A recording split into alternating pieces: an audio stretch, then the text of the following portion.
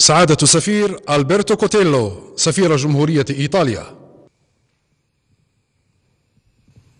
Monsieur le Président, euh, j'ai l'honneur de vous remettre les lettres de créance par lesquelles euh, Son Excellence le Président de la République italienne, Sergio Mattarella, m'accrédite en tant qu'ambassadeur extraordinaire et plénipotentiaire de la République italienne auprès de la République algérienne démocratique et populaire. Merci, Monsieur le Président. Merci. Enchanté. Bonjour. Monsieur le ministre.